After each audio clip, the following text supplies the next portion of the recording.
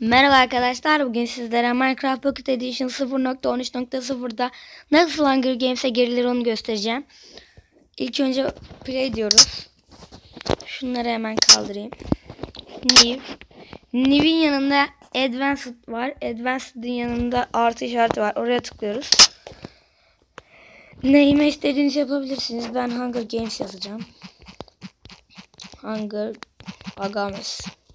Hunger Games IP adresi sg bir saniye y nokta lbsg server diyoruz. Geri gelelim. Hunger Games gördüğünüz gibi açıldı arkadaşlar.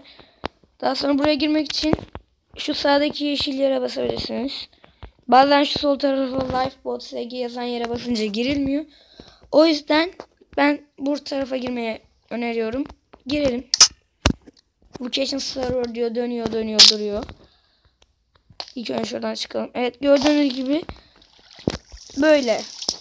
Burada e, Welcome to Lifebot yazıyor. Games yazdığı yerde oyunlara girebilirsiniz. Burada işte başka bir şeyler var. Evet Türk'üm. Evet Türk yazalım. Evet. Çekiyorum.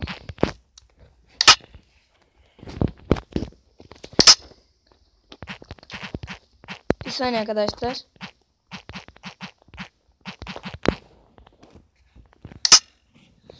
Evet arkadaşlar.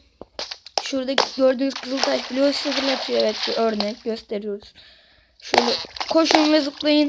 Daha çok ileri atacaktır. Böyle. Evet arkadaşlar.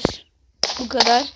Hatta sizlerle bir bölüm bu bölüm bir oyuna girelim. Bekleyelim. Bir oyun açılsın arkadaşlar.